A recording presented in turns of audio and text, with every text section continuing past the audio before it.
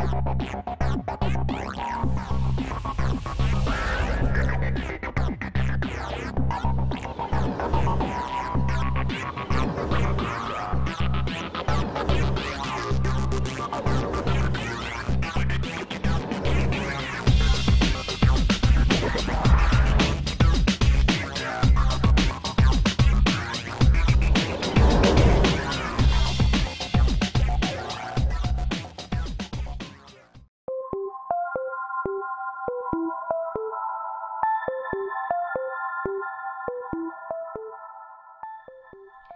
Hi, my name is Leslie Ricky, and today I'm going to talk about new virtual prototyping methods that can help orthopedic device companies achieve more realistic and accurate understanding of joint replacement or implant performance, and how these methods also help reduce development cost.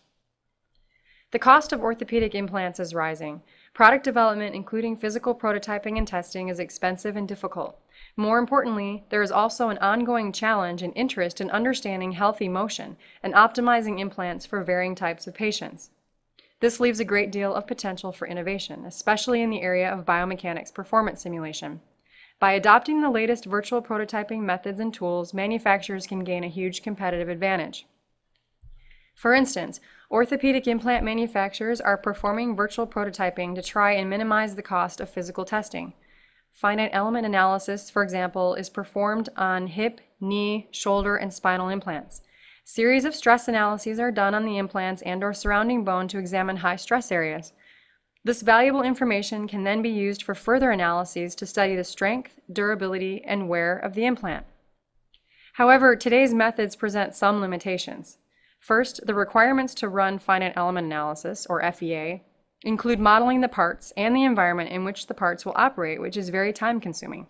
Second, FEA by itself falls short in doing a thorough job of telling the engineers what the boundary conditions are and how to load the device properly to ensure that it is accurate and aligned with what is seen in clinical trials.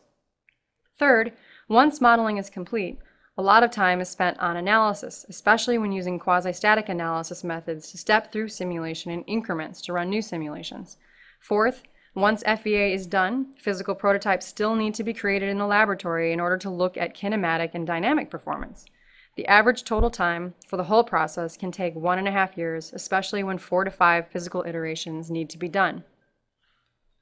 New virtual prototyping methods and tools have been developed and are being used to reduce the number of design iterations by replicating the in vitro tests done in the laboratory within a virtual simulation environment that produces the same results as the test laboratory.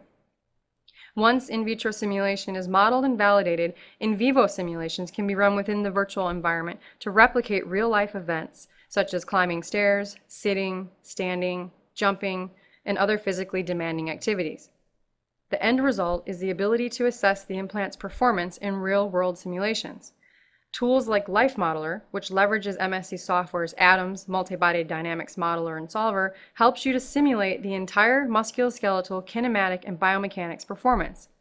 Using biomechanics simulations, you can examine strength and durability and then export the realistic loads and boundary conditions to the FEA and perform system-level simulations using tools like MSC Software's MARC and MD Nastran. Working in a common tool set and transferring loads effectively between FEA and biomechanics streamlines the process and gives engineers accurate results faster than traditional methods of test. It unites the best aspects of both methods to minimize computational complexity and expand the scope of multi-body dynamics. It will assess important nonlinearities such as polyethylene and cement loads to evaluate how materials are behaving or device components interact with bones such as the tibia.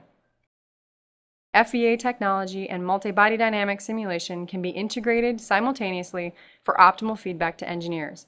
This allows dynamic boundary conditions and loads to be automatically transferred to the FEA model and small changes in their impact on the dynamics performance, such as the biomechanical range of motion or performance of the device inside the body, to be assessed. The end result is a fully integrated simulation solution in which engineers visualize full body gait models and witness how loads are being applied. With these methods, manufacturers can more accurately understand device performance. For example, can the device design or analysis be applied to a 90th percentile male?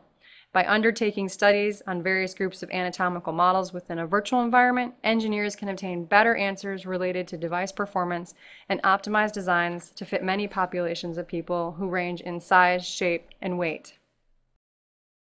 Thank you very much for watching. If you'd like to learn more about virtual prototyping for orthopedic implants or solutions for the biomedical industry in general, go to mscsoftware.com.